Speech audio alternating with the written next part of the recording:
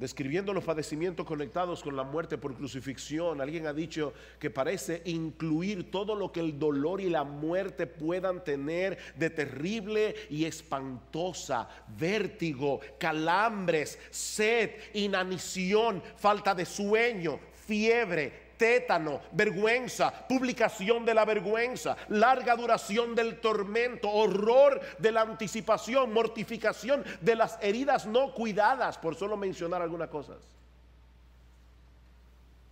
No había ninguna postura que trajera alivio al crucificado. Los romanos crucificaban con las rodillas ligeramente dobladas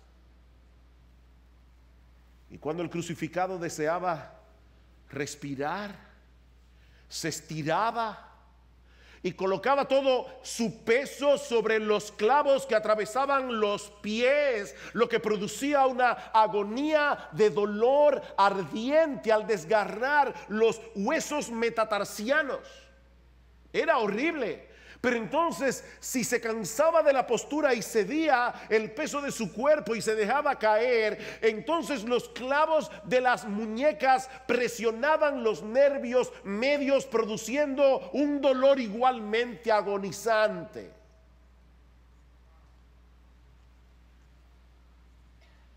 Y créanme que estoy ahorrando muchos de los detalles que yo tuve que leer en estos días sobre los padecimientos de un crucificado. Y ese fue el instrumento de tortura en el que fue ejecutado nuestro bendito Señor y Salvador.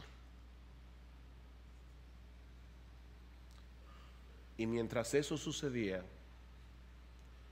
Marcos nos dice que los soldados estaban al pie de la cruz repartiéndose sus vestidos.